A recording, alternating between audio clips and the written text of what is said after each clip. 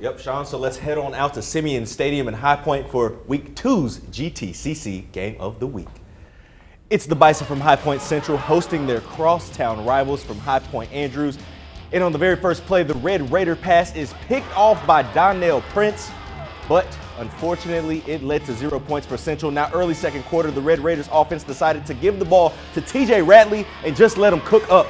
And on fourth and 18, Ratley finds the end zone for the first score of the night. And Andrews cheerleaders were loving that and the two towels as well. But Ratley was just getting started. He keeps it, he hits the hole, he finds a seam, he takes a bump and finds himself in the end zone for another touchdown. 13 0 Red Raiders, and it would get much worse for the Bison before it got any better. Andrews takes home the Crosstown Cup and are winners of our GTCC Week 2 Game of the Week. They win it 34 0.